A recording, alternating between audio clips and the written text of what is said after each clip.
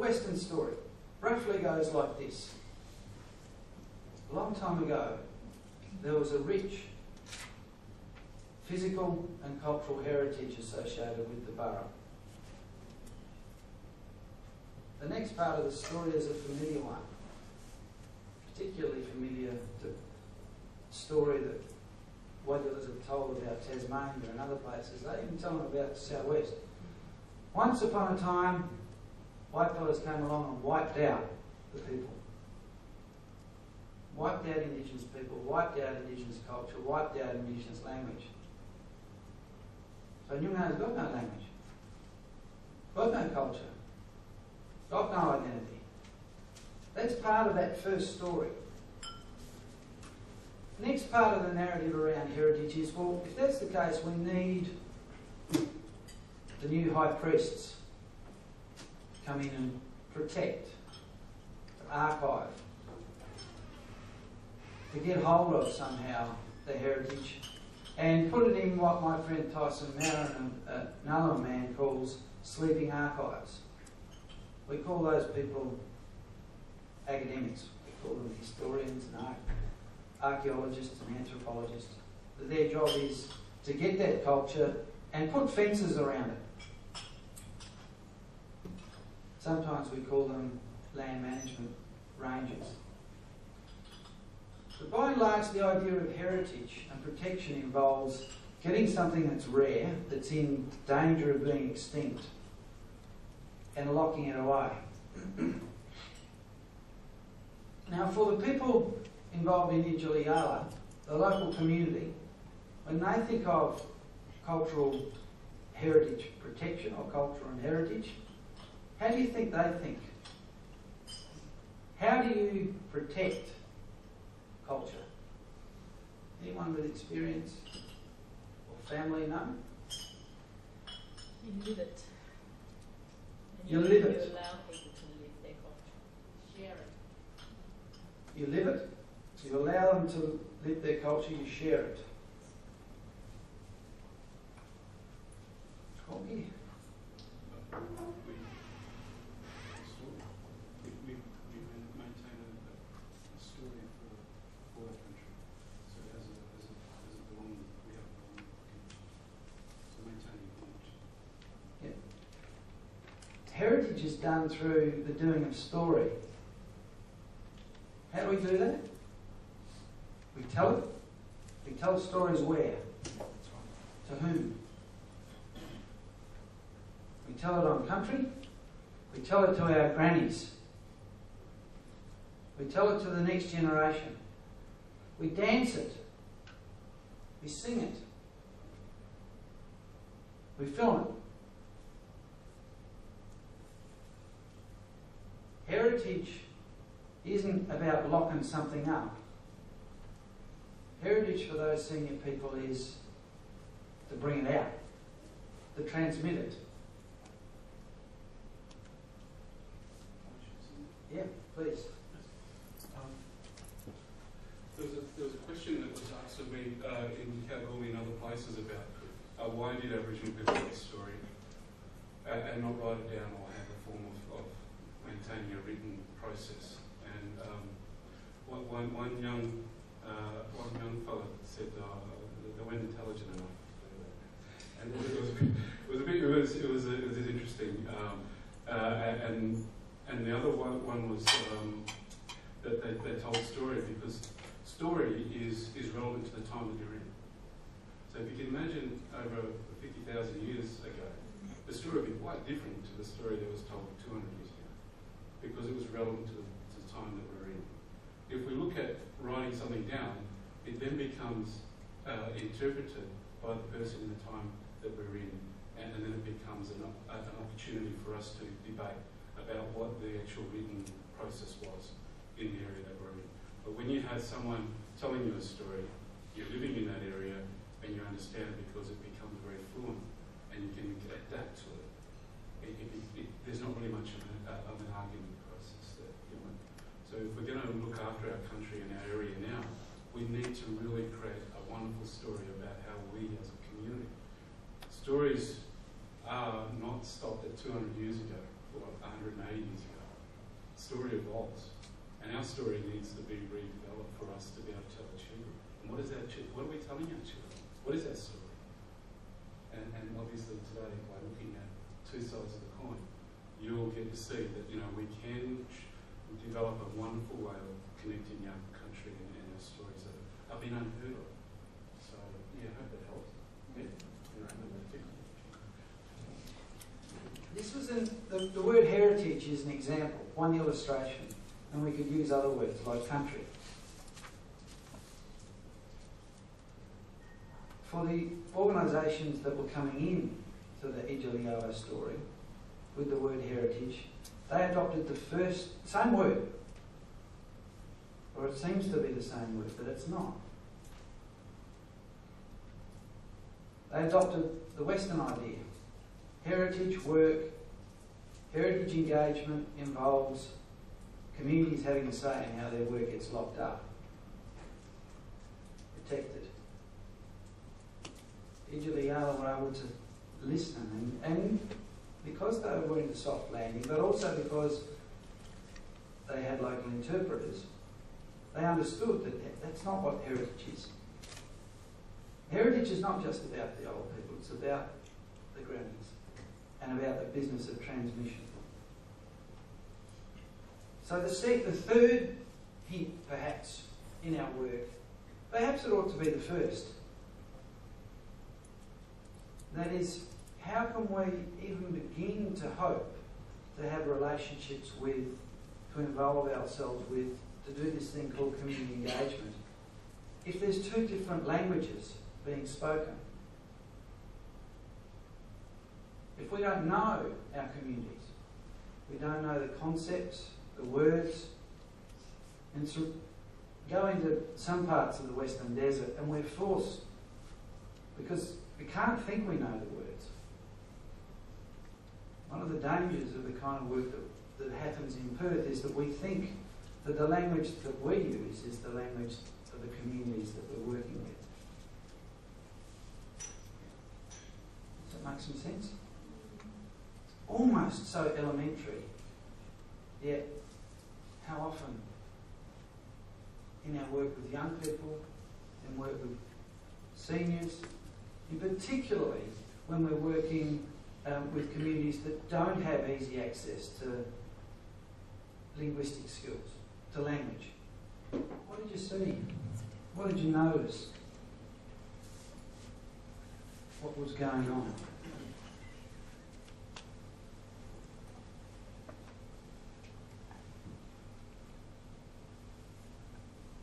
Several experts working together. Nicely put. Several experts working together. Who are the experts? Uh, everyone. Yeah. Very nice. Yeah. Everyone there was an expert. Now, who was there? Um, the kids, the illustrator, the um, um, the other guy, what was his name?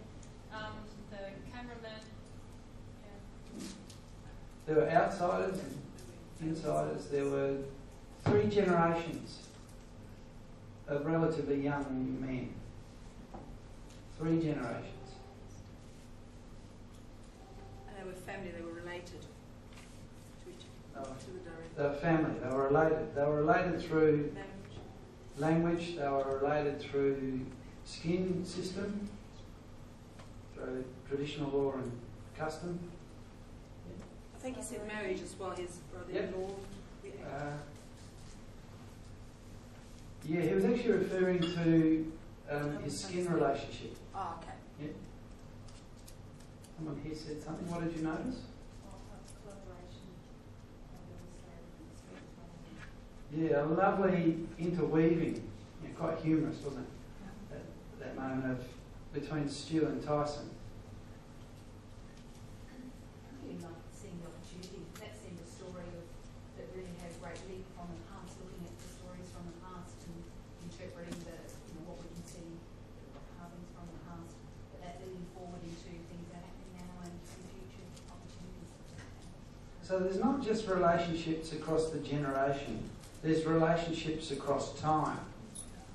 Today, people are working on a project that tells a story about yesterday. And actually, this film piece is a story of cultural transmission.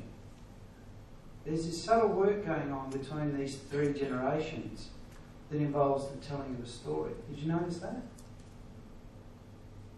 So young EJ, we might call him the novice, he's a young fellow that's hasn't been through law. He's playing the young fellow who hasn't been through law. And his character is being taught, being educated in the law and culture of the place by his father. He's been taught how to hunt and how to record. And that's what's going on between EJ and James and Tyson. As the older man in the relationship, Tyson's giving him instruction. So there's transmission inside the story and there's transmission in the project. Something I really liked was um, how um, the attention to the detail. Um, you know, it'd be easy to assume that a kangaroo is a kangaroo is a kangaroo, and him pointing out, well, it's not quite the right kangaroo for this, this land. Yep, that's right. Really important. But for people that have been involved in the creative process, there's lots of detailed work. Anyone here been on country, going hunting, you've got to pay attention to the detail. What happens if you don't? Very unsafe business. Very unsafe. We, we had, um, grew up in Broome and we went out hunting and there was a, a Pilgrim fella and a, and a fella from, um, from down here. And we went out and we had rifles. We, we didn't want to go run into a bush with a spear. But, um, one of the fellas, he, he wanted to, to shoot one and, uh, he would have maybe five or six shots at a kangaroo. And he missed and then he, put, he, he reached over and said, here, your, your turn, Sean. I said, no, no, you're right, brother, give it to countryman. And he said, why? I said, give it to him, the one shot.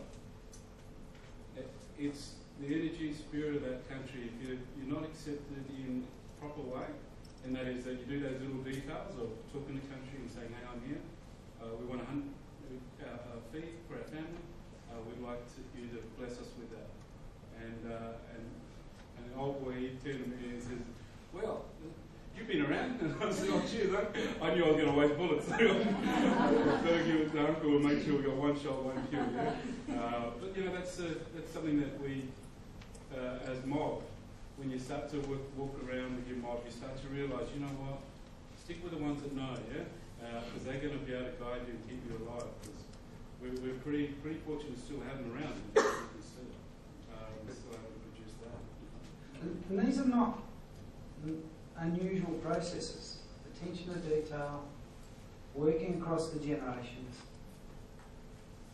Also importantly in this case, and these all the players involved talked about how they had a basic storyboard. Tyson had written a story. And they did lots of work in the studio, particularly as they translated this into digital animation. But it was when they went on country that the details came out. The glistening of the spearhead, the muscular action of throwing, all the important work around EJ and James, and also Tyson learning happened on country. So another element Another gift, if you like, from this project to the rest of us is the importance of work across the generations. Not just between two generations. Not just between the grannies and their grandparents. But that middle generation is important.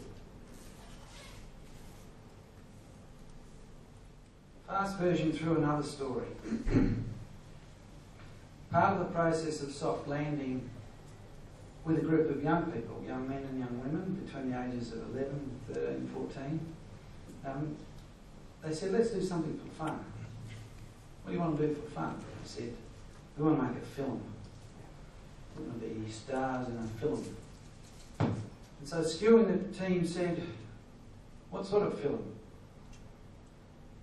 We want blackfellas to be in Mad Max. We want zombies. We make a zombie film. Don't have time to show it today, but what emerged was a 15 minute blockbuster starring the Love Punks, a group of young men, at that stage there were 15 of them, who wanted to tell a story of what it's like to live in Roebourne in 2070. They went through a six month process of development, workshopping. They got involved in every element of filmmaking, from costume design through storyboarding, sound work, and of course starring. Out of it, each of them created a character, a love punk. And they waged war against the enemies of life, the zombies. Any guesses as to who the zombies were? Adults. um, it was a fun exercise. The people, their families loved it. They loved it. They memorised it. It got screened everywhere. It was launched after the soft landing of six months. Then the team said, What do you want to do now? They said, We want to play games. We always want to play games. So Stu and the team said, Let's make a game. And um, I get smashed on it. So I'm not going to ask someone to come up here and have a comp with me. But if you want to try it out, um, I'll, I might show it afterwards when people are sort of nosing away. I'll see if I can smash it, Sean. For anyone playing the game, you will choose one of the love punks as your character and you will fight against zombies, against goannas, against frogs. And you'll travel through a reimagined Roebourne. Um, smashing goals in a super high basketball court, um, negotiating your way through bombs and scary stuff. All of this was made through the process that you just saw on the screen. Um, building young people's interest, building their action, building their doing stuff and then introducing them to new technologies, technologies like Photoshop and digital editing, and then game design. Um, the gang told me that the Love Punks could probably charge $35 an hour on the international digital animation scene. The third part of the story we'll come to a little bit later. But that's the how we made the Love Punks game. What did you see?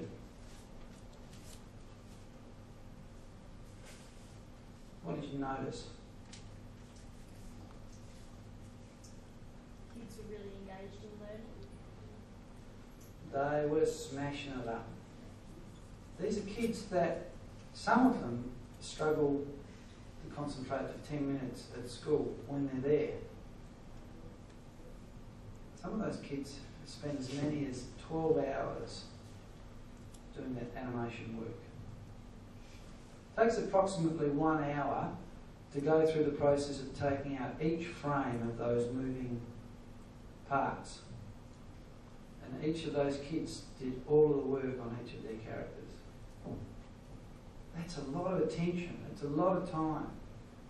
Never mind, it's a pretty funky, new, cutting edge technology that these people are learning for the real, the so called real economy. How did it happen? Because they want to play games. And they're good at it. Anything else you noticed about that? They became the experts, like they were teaching each other what to do and telling us how you do it. The- It wasn't done for them. Yeah, they were the experts. There's a lovely, in the earlier stages, they, they produced a, a little background doco. There's this lovely moment where um, I think Maverick is sitting next to Stu, and they're in front of the computer. And Stu's walking him through the 12 or so tools, each of which have about 20 um, elements to them. So he's teaching him this stuff. And he's like, Stu's like a, anyone bought anything from the Mac shop? He's like a Mac salesperson. He never touches He never touches the equipment. He sits there and says, well, that's the one, you do it. When I've had my Mac devices given to me, I have to do all the configuration and the retail person will sit behind me. A simple yet profoundly powerful tool in engaging with the community. Keep your dirty, rotten hands to yourself. Where there's an opportunity for someone else to do something, there's a lovely scene in that doco where Stu, in one take, he's there with Maverick, and the next take, Mav says, Get out of that chair, I'm going to teach EJ. And then for the rest of the doco, it's just the lads teaching each other. It's something I haven't quite got to this yet, but these new technologies are opening up this capacity for getting people to do things, do things together, do things alone. With a little tiny little bit of mentoring, off they go. Anything else you noticed? It was colourful, um, had such a positive vibe to it, energy, and they made learning fun. So Yeah. that was why it was easy to engage with.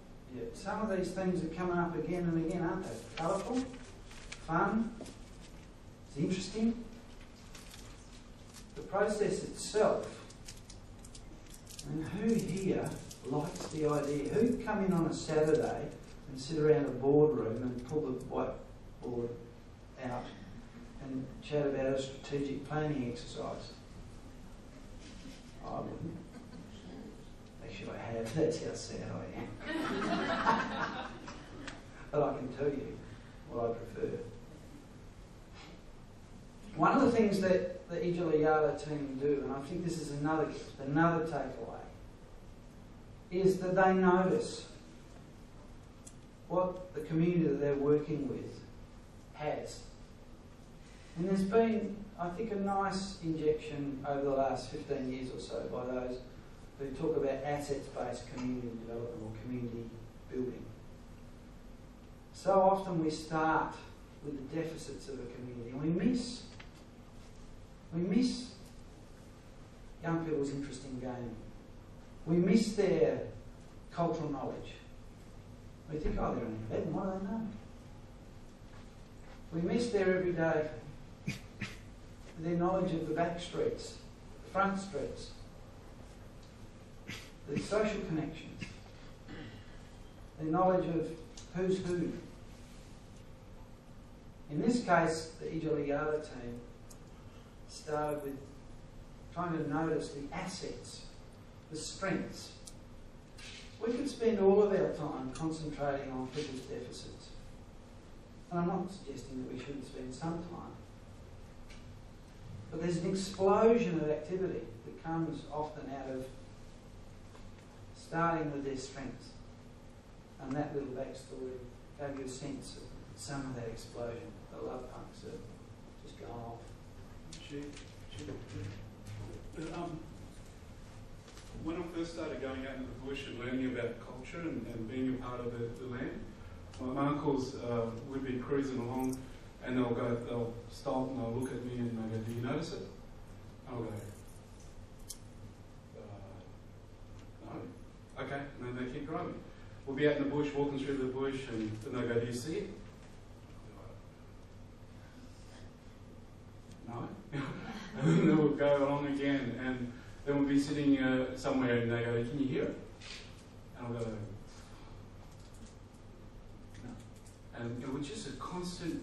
Do you see it? Do you notice it? Can you feel it? I'm not gonna. I'm, I'm not feeling anything. I don't understand. All I want to do is get back to my foxtail. But um, as we were going, then they would then they would divulge after a few days out there. And I'll go, well, when we were cruising through a certain area there, there was three birds up in the hill. And we told you about three. It's very significant. Remember that? Oh, oh yes, of course, yeah, yeah. And I'm trying to think of where those three birds in my visual, I didn't see. And then we were um, going through and there was, a, there was a little lizard that was on a little, little branch on the right-hand side where we were, we were standing on this big hill. And, and my uncle, I remember him saying, you see? There were so many things that I could have said, a tree, a rock, or whatever. There were so many things I could have said, I didn't. All I said was, no, I don't see it. Because I was trying to think of what's, what is it that I'm not picking up on, because everything is quite clear, do you know I mean? So, there was a time there when we were driving out to Northam and, and, and out towards uh, York and that, and he, we'll be driving along and goes, looks at me and I go, I don't see it. I don't even have to say it.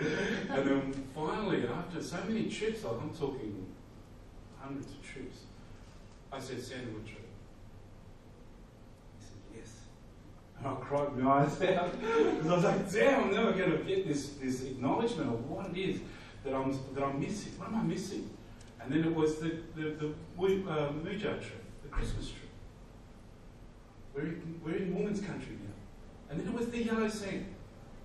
Do you see the sand change? Yes. Well, what is the yellow sand? That's old woman's sand. And then there was another one uh, where the rocks changed. And then the birds and the insects and the land just speaks to you. And you stand there and they say to you, you see it already? Yeah, I can see it. But there's something that I'm missing. Can you, help me? I'm always, there's always something. We never stop learning. We don't see everything. We've got to acknowledge it. And then they ask me, what do you see? Because I'm miss, he's missing what I'm seeing. And this is what a community engagement is, is what we're talking about, connecting. Is asking each other. We've all got visual, we've all got the six senses, right? We've just got to work with each other and connect. Yeah? I was I work as a suicide prevention program and, and in Albany, Amanda, my co-worker works there. I've been seeing her for, for 12 years. I was suicidal and I went through seven stuff and she's been supporting me. And now I work with a wonderful team and I've been working with Equo, she works closely with for the last four, three, three or four years. I walked out the last um, talk with her, we had uh, before she went on holiday and I went on holiday. There was an Aboriginal painting up in the hallway. I went, oh great, it was beautiful. Aboriginal painting. Oh, who was that? Who did it? I'm looking for a name and oh, when did they get it? And she looked at me, she says, been there for seven years. I went, you sure? she said, yes. And she said it was also in the other room for the for four years that you've been here, where we sit and chat. So for that long, I thought I was connected to Indigenous stuff in a lot of ways. But if I can walk past a picture, an Aboriginal painting, seven years without even noticing, and I do art, so it was a real big, Sean, there's a lot more to this that I'm not grasping. I just can't wait to, to see those new things that I've been walking past for the last 12 years. I, you know, there's just so many things. Seeing beautiful faces, getting to meet wonderful people who, are engaged and connected. Walking past our people in the street, not seeing some things that we normally see. But this is connecting, know, and being able to connect to something, you have to be in tune with it. And then we get the full picture. Does that make sense? Yes.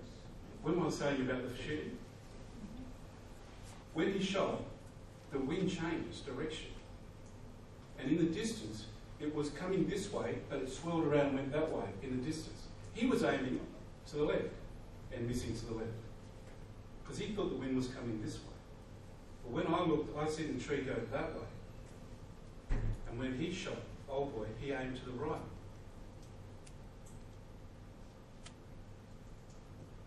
Later on we had a yarn about it. He said, you know? I said, yeah, well, you got to aim to the right there because that wind changed. And it goes this way. And he said, yeah. He knows it. Even, even, you know what I mean? It's those little finer detail things that you don't sometimes pick up. The birds flying. And you see them do that, that movement. And they change, and they come back into the wind. And then they go down and they come back in. You just follow them. I was watching that in the distance. And then I saw the tree. And I said, go to the right, not to the left, brother. You get me? Yeah. All right. Sorry.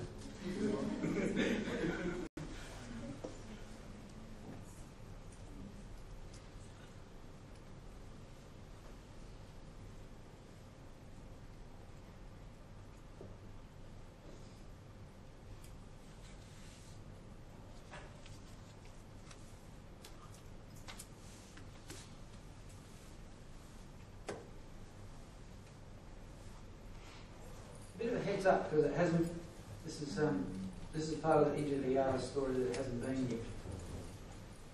And what the company likes to do with communities is to use the range of things that are done together over the course of three to five years and put it together as a stage production. Then the production Hipbone Sticking Out's going to play this year at the Canberra Centenary of Canberra Festival. Um, it's a culmination really of the work and a culmination of old stories. It's a culmination of young people's stories, of senior people's stories, of the work that's been happening in Roebourne Regional Prison. It is literally the act of putting people and their stories from the community on centre stage.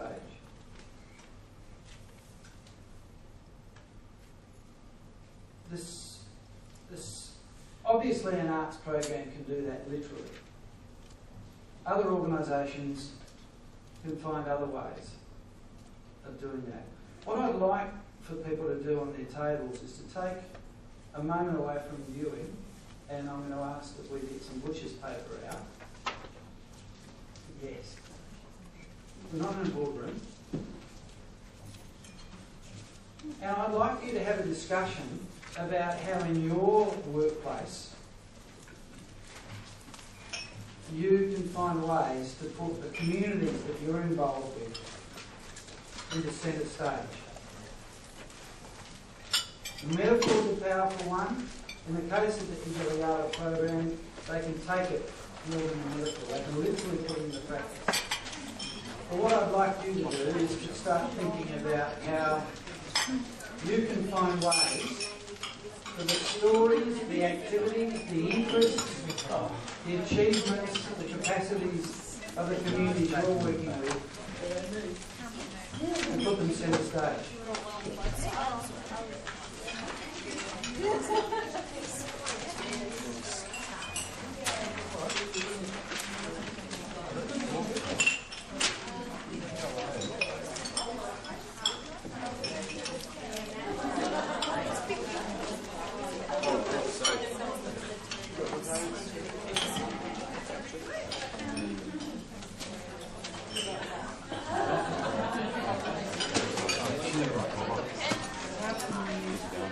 how would involve um, communities you work with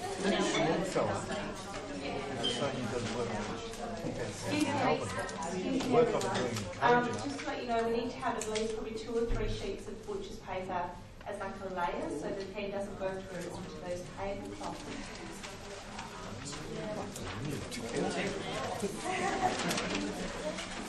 It's called it, um, put on working about that wood. Yeah, right. Yeah, that's all. I'd love to go back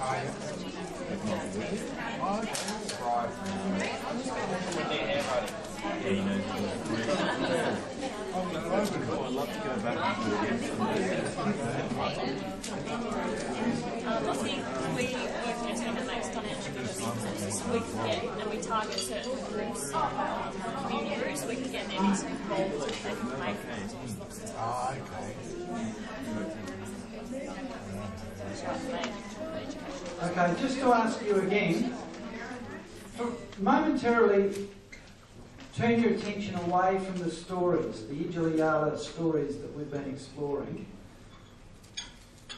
and think about in your own workplaces how you might be able to take the communities that you're working with, and I'll use the metaphor, take the communities that you're working with and put them centre stage. Okay? Will literally, it literally does that through its theatre, its film, its music, puts them on the national stage. For you, most of you won't be able to do that, but you will find ways of being able to celebrate publicly and assist in getting the stories out about the communities that you're keenly engaging with. So, to, maybe if you frame it in this way, in your workplaces, how can we help bring out the stories of the communities we're working with? Does that make sense? Have a discussion and make some notes.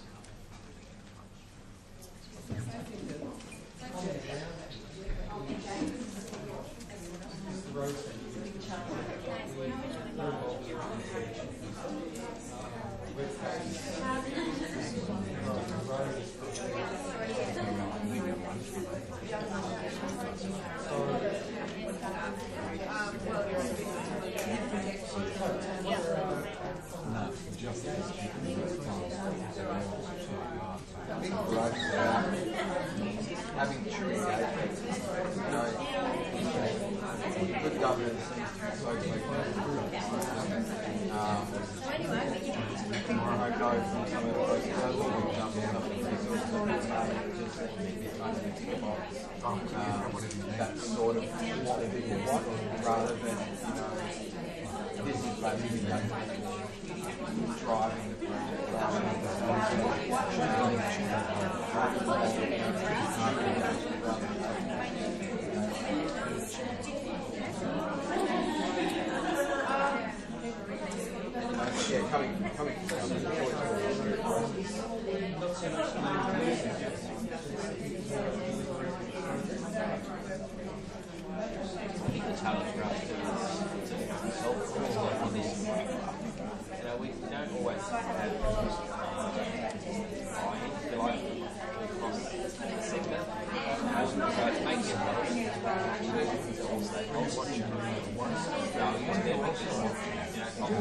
It's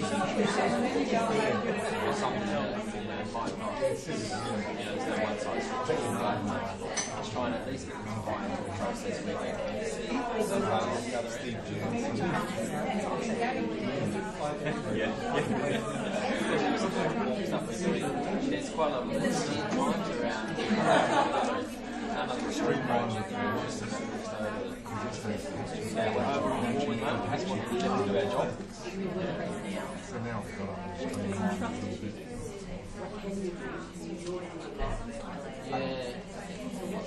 Sorry, I was just going to say about the great thing about what how they're. I think one of the hard things in the industry is the word behaviour changes.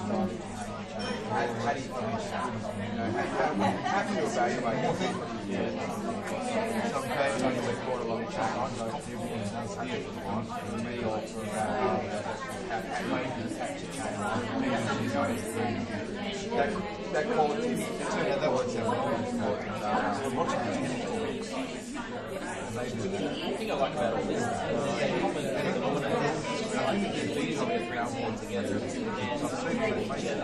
stay on. I don't know if we have that. I'll get out of bed sometime. That's really exciting. I don't know how we capture that.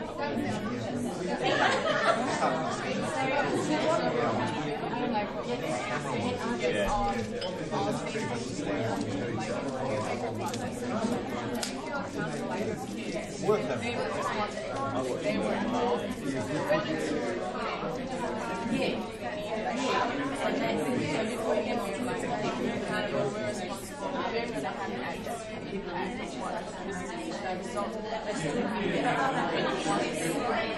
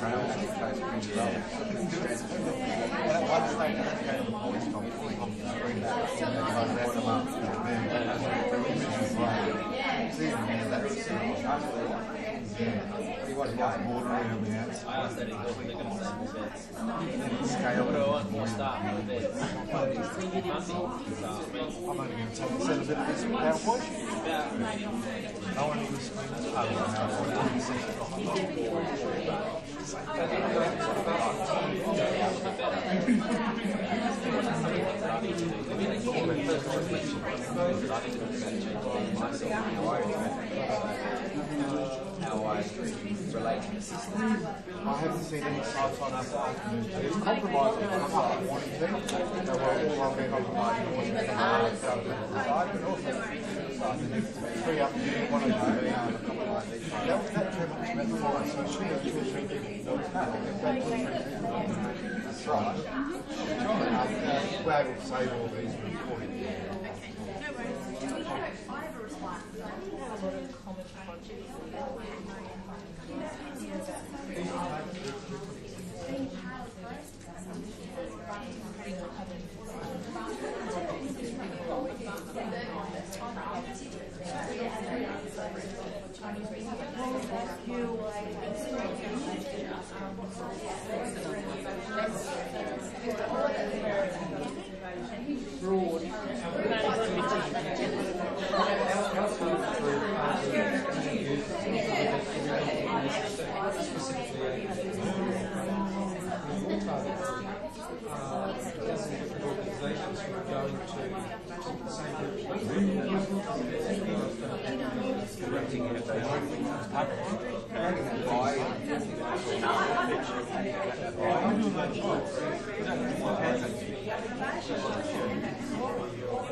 It's a new one.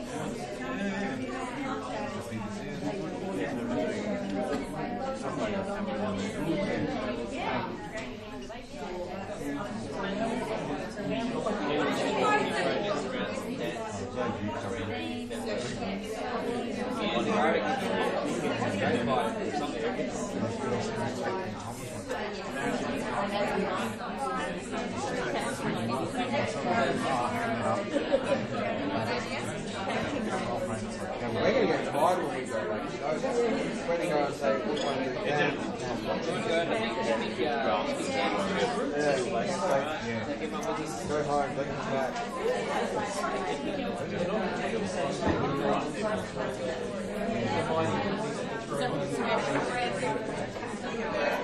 Okay, I might ask you to just wrap up your discussions for now, um, but do hang on to them. Do hang on to your discussions for two reasons. One, I'm going to ask you about them shortly, and secondly, um, over lunch, you might want to continue them, particularly people from your own organisations.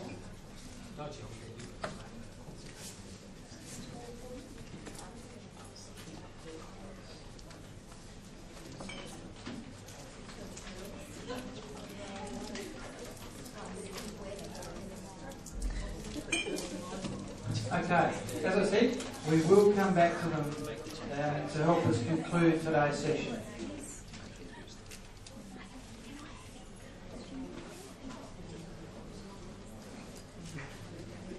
Just to show you, this is the, the sort of a taster clip for the show that this year is going to tour Canberra.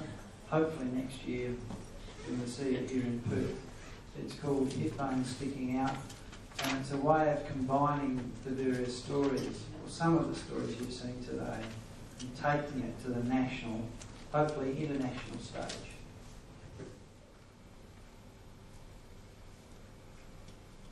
Coming to a theatre near you.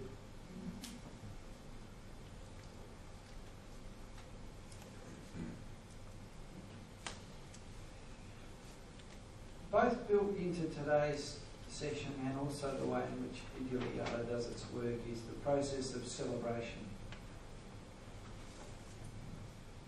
Celebration, where I come from, happens afterwards, or it happens along the track. So often we seem to get into this culture of organisations doing the celebrating when they're launching something.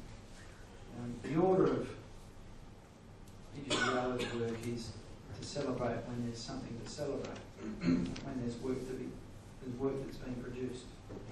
Um, I'm not going to say too much. I'm not going to show extra stories about the celebration of success. I think you've seen some of that, but it's so often. I, I just want to make mention of the profound lesson that we get from this work is the importance of communities being able to see themselves represented in a high quality fashion. And I think you'll agree that everything you've seen today as a part of this story shows the people of Roebourne as vibrant, living, talented, capable people, using the latest of mediums, using the finest quality artists, drawing out the high calibre of people from Roebourne. So often, sadly, we don't get to do that. We don't have the resources, we don't have the time, we don't think to. Too many of us are a little self-effacing, but we represent in our work with communities an important opportunity, or, or what stands in front of us is an important opportunity to not just do it after the fact, but to build into our relationships celebration. And many of us Westerners think that ritual is something we do on weekends. We pretend that celebration is something we do around alcohol only, birthdays or weddings. Building it into our professional practice is a serious business worthy of thinking about doing.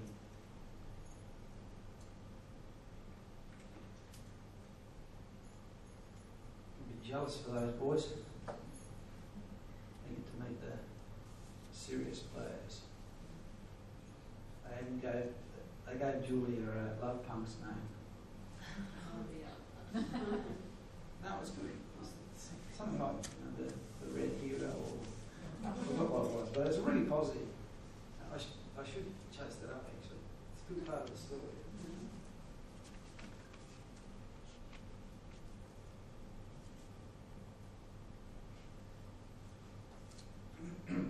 This is a theme that's been drawn out a number of times during today's discussion and, and comes out of the story. Um, I'm going to yeah, the last, probably the, one of the, if not the last, one of the last um, video clips that I'm going to show you is the stage that we're up to now with uh, Love Punks. Um, at the end of, after the launch of the game, the next question was, what next? What now? And um, they got confident enough to say, we want to make an iPad app. Um, I don't know if anyone, has anyone seen it? It's called Neomads. Um, $2.99 will get you the first two episodes, and, ep- and the next time there's an episode that gets comes up, it'll just be a free upload. Um, I've got the first on my iPad here if anyone wants to play with it over lunch. Um, but it's taking the story of the Love Punks, the story of their grandparents, the story of yesterday and putting it into 2070 in the form of a digital animation. A digital animation that kids can point to, look at, slide, listen to, press speech bubbles, uh, learn to read, and it's all made by young people. Making and doing stuff. A very grown up way of framing the concept, is it? What do we, what do we use? What sort of language do we use in our, our grown up professional life? Project management, Design and implement. design and implement, mm-hmm. engage, creation, develop, review, and evaluate. Particularly poetic. It's got a little poetic. No, it has not. um, making and doing stuff. It's amazing what happens with your relationship with another person if you make something with them or you do something with them. The big end of town does it all the time. They know how to play golf and do the deal. They know how to go fishing and do the deal.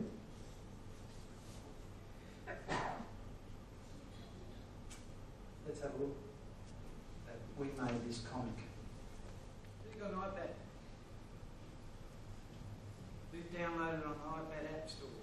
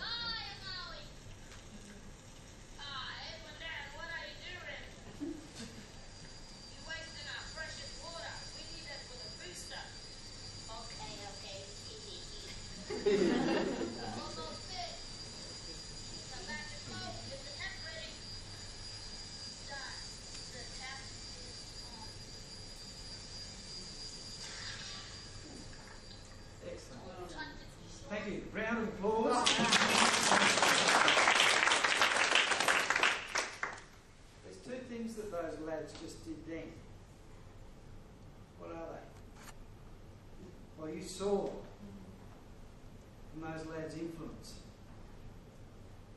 What were they?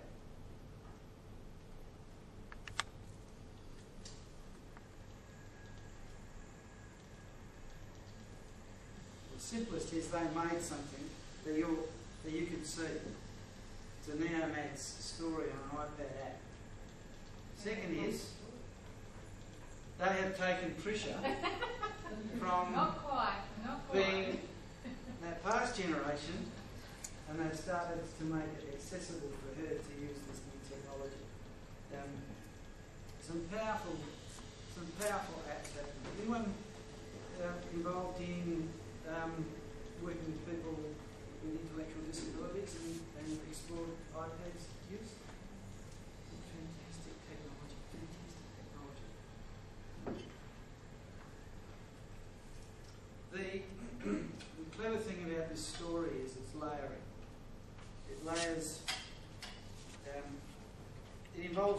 transmission around.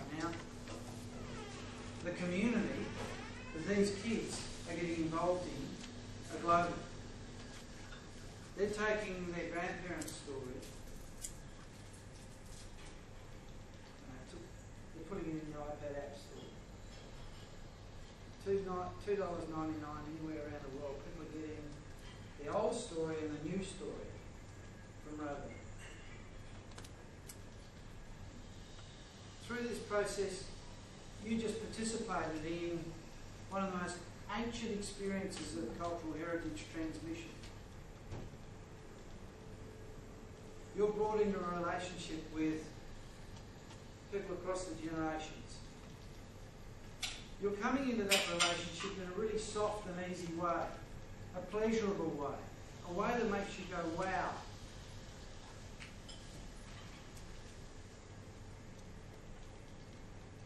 you're being introduced to a really positive story. A really positive element of the that you previously thought of as dysfunction.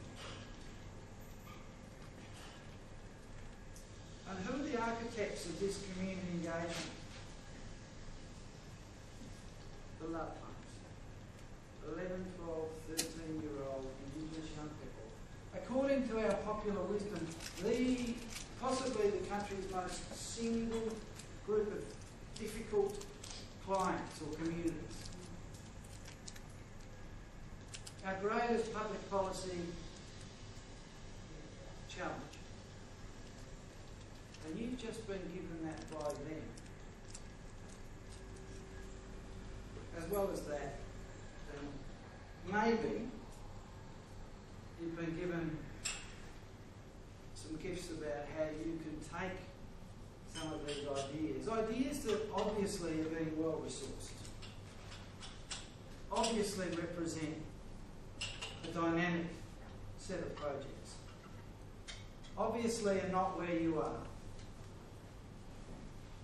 Many of you, working with different kind of communities. But I think you're being given gifts about themes, ways of doing community engagement that translate, or can translate, into your workplaces.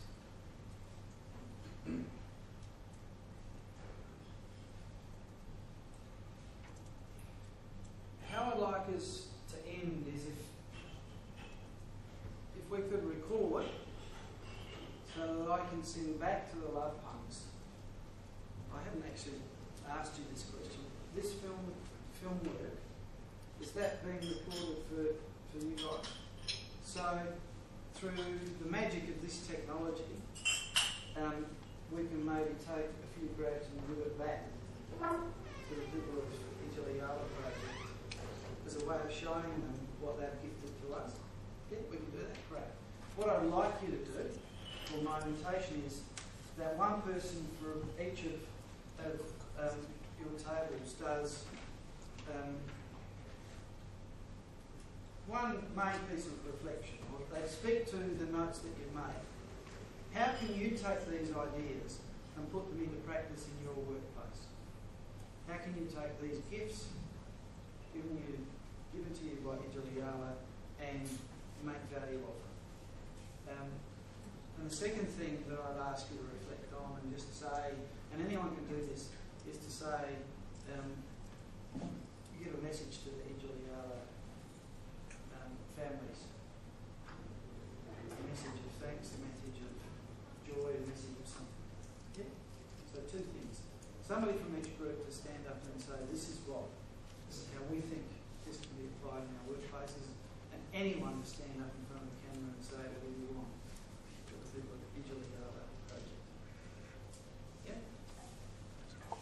So we've got someone that's prepared to start us off.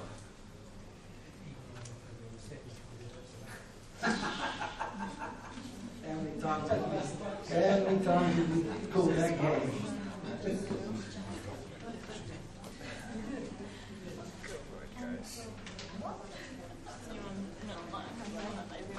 Usually when I ask groups to do this, somebody will volunteer somebody else from their group. if you can start to just you nominate someone and file down the front so the camera can actually see. Remember, this is a message to the Yijala Yala gang, both about how their work is going to change our lives and also any other message. Please, please, someone start us off. Thank you. What's that one? Do name?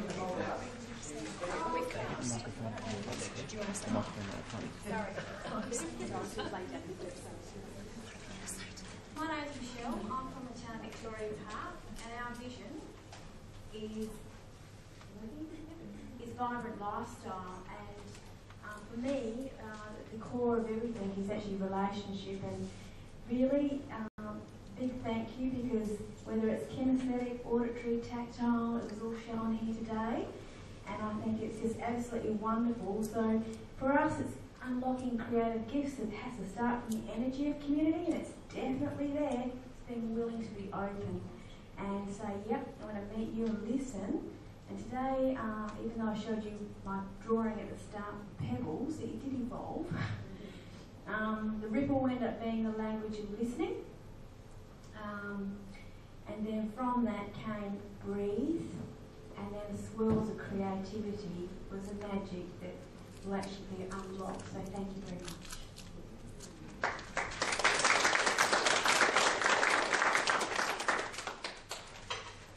Another Oh, look, this one.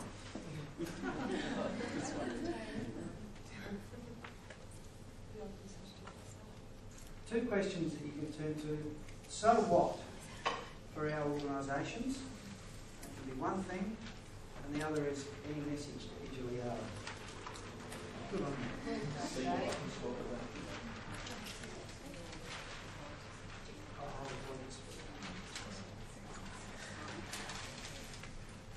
Um, I think we're all from pretty background, all from pretty different backgrounds at our table, so we have a few different ideas. Um, we've got someone working with children, and she thinks that dance and music and art is a good way to engage with that group. Um, I've say I agree with that. Um, we've got a few from the Flying Doctors, um, and the community that they work with is the entire state as, um, as they said, and what they want to do is to profile communities or individuals that have benefited from their programs to the, to the wider state. Is that right? I hope I'm, not saying that wrong. Um, for my organisation, what I think we need to do is um, just to put the community and the decision makers in the same room at the same time, because that's something that doesn't happen very often, and I think that we're a pretty big barrier. Um, and another point being made is that um, communication needs to be two-way. Um, too often we have one-way communication.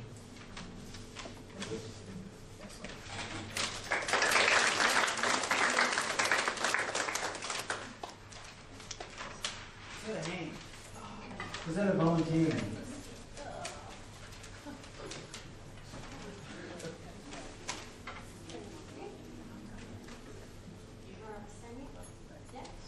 Um, I guess a couple of the main things that we got out of today um, was really letting go of self-importance um, and trying to take on everything yourself. So handing over that responsibility um, was, was something that we definitely got out of today. Um, another thing was meeting people in their community, so not expecting people to come to us, meeting people where they feel safe and comfortable and letting them direct um, I suppose the conversation and the communication and that said for the community. Um, also targeting people's interests. So um, just as the, I'm going to try and pronounce this now. How do you pronounce it? Ichiala. Yala? Sorry. um, did it was really about targeting the kids' interests and looking at what how they wanted to sort of direct things. So yeah, a big thank you to all of the knowledge that you've shared. We're going to have them.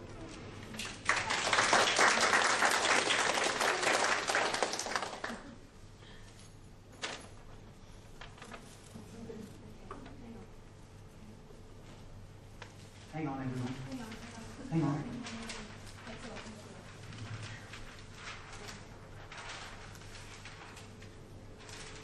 This is the last minute thing, well, quickly put together. This is the community in the centre. We were discussing how do we make the community centre stage. Um, and from today, I think we've learned that you need to consider the community in the way that they are. So the, the, the family that they live with, the life that they've lived, which includes their interests, um, things like art, music, um, heritage and their, um, uh, the heritage and their history, and, um, and the land they've lived in. So there's um, the, the factors that you need to consider around the community that we perhaps, without embedding ourselves in the community, we're not aware of. So, um,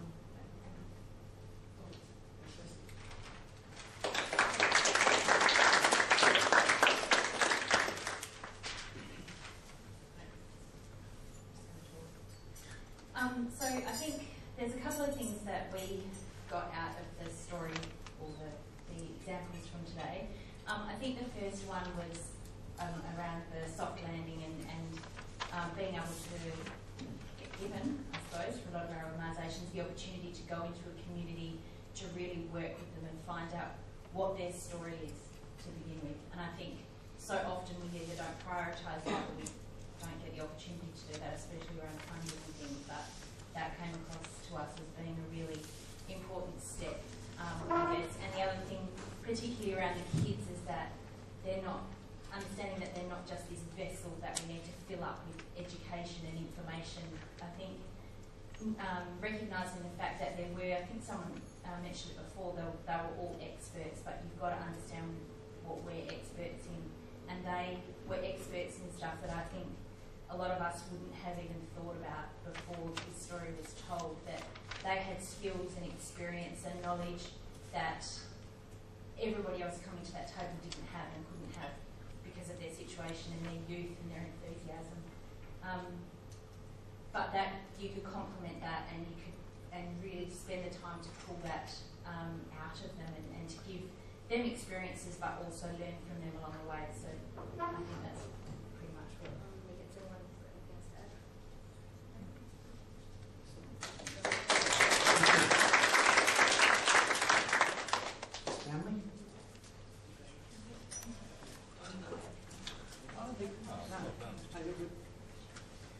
Firstly, congratulations and what an inspiration to the Yala kids. Um, very inspirational. I suppose it goes down to um, the getting on the grassroots level with, um, with the community. Uh, that's one of the main things that we um, agreed on. And also to have people tell their personal stories and experiences to get feedback. And um, this is what these kids have done, and um, and they've been listened to as well. And uh, it's been in collaboration, and it's a wonderful thing to be today. So, thank you, Daily Mob.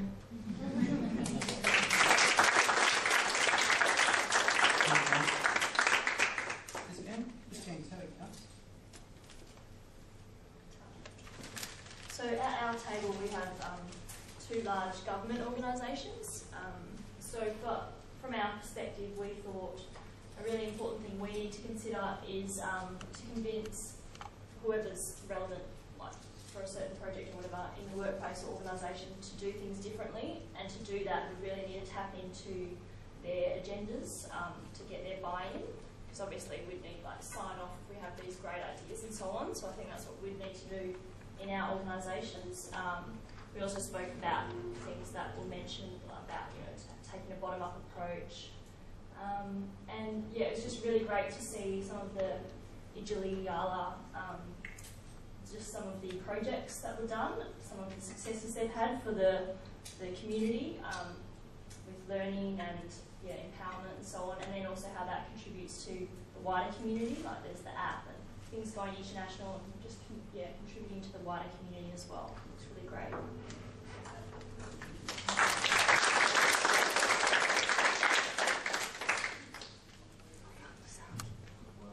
Lance shall be first. We kind of have some really creative um, people in our group, and they've got some fantastic projects that are already happening. And then we've got the more traditional ways of sharing information. Um, so we've got um, a range of ideas from children's concerts, community calendars, um, projecting um, community leader portraits on buildings, interactive community arts, uh, storybooks, and your, your traditional case studies, that. Kind of a big range of things. Um, I guess personally what I enjoyed about today was kind of taking the key principles um, of you know community development and engagement. So you know from the one to eight that we've kind of heard, but um, the community of the young people really brought it to life and really helped us understand you know how it does really make a difference. Um, that was just my personal reflection and thank you to the young people. Do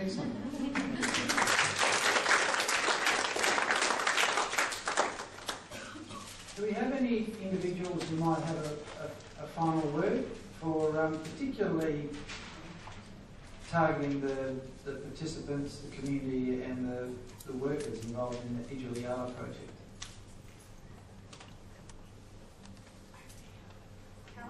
Personal liked to seen the young people who did this fantastic work come down here and act out and show us and demonstrate and actually be part of the scene. Because to me, I think it's kind of second hand, and I don't think this is a philosophical question. I don't think I can have a relationship with an app on a technology. It's face to face, person to person, and I think if we rely too much on that, well, we lose the ability to communicate as people. Yeah. They came down here, if those love, love punks would be here, they'd have you on an app, quick smart. Give them a chance to showcase their, their skills and everything else. Any other messages? Carol?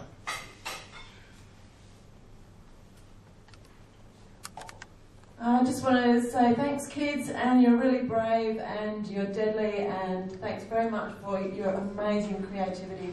And I do hope you do come to Perth one day and uh, show us how it's done.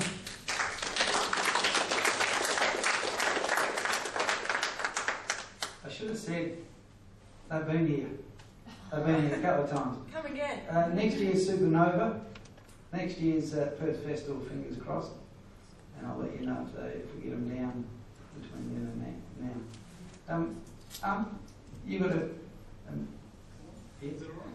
You bet.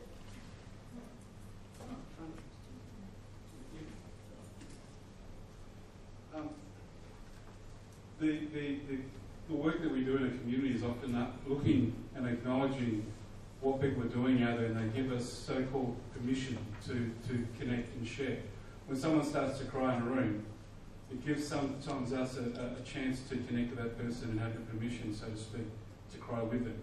And uh, I think that what you fellows have been doing up there, you young fellows, you've given us permission to think outside the box. You've given us the permission to, to respect you and acknowledge you for the things that you're able to create and, and drive for. You give us permission to, to, to see hope. Uh, uh, you give us permission to, to share with our, our young kids down here um, and all over. So it's, it's beautiful to see all the colours and, and you fellas driving, you know, that we're here and, and we see you. We all see you. And, and, and we're going to hear you a lot more. And I think that in time, uh, we as, as, as community leaders and community workers are going to be running around with a lot of colour on us. So good on you, fellas. We're, we're going to be right behind you. Cheers.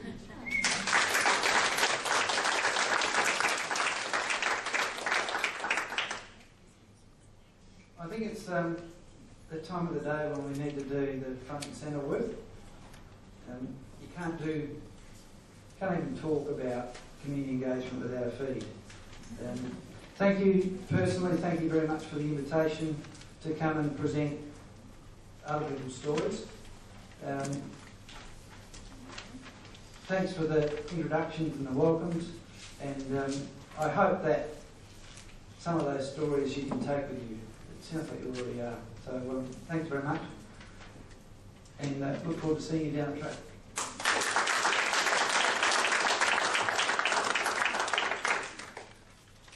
Thank you, Dave. That was um, fantastic. For me personally, I think a lot of the stuff that Dave's spoken about what through the videos and what the kids have done, it's just stating the obvious sometimes. Chat to people, talk to people, give them food, have a meal. All those things seem so obvious, but sometimes, I know for me personally, in your day-to-day life, it's so hard to pull yourself away from that. So thank you for reminding me of that as like one of the most important things, I suppose, to engage with communities. I'd also like to take this opportunity to thank Melinda Edmonds, who has organised this event um, on behalf of this project. So thank you very much, Melinda. It's much greatly appreciated. Um, also,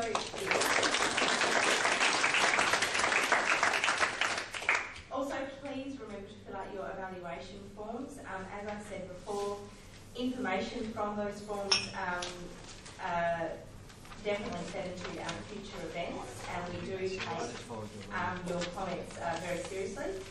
Um, we've got our Lunch and Learn Forum on 2nd of May at Technology Park, and it will be presented by the Chair of the Road Safety Council, Professor Murray Lampard. Um, and RSVPs for that close on the 29th of April. Um, there's a few flyers on your table. Um, we've also got another uh, number of other events um, being planned for this year, so um, we'll keep you posted on those. And um, once again, thank you all for attending and taking time. Thank you. Special dietary requirements. I think your food should be on or clearly marked over there. Thank you. yeah,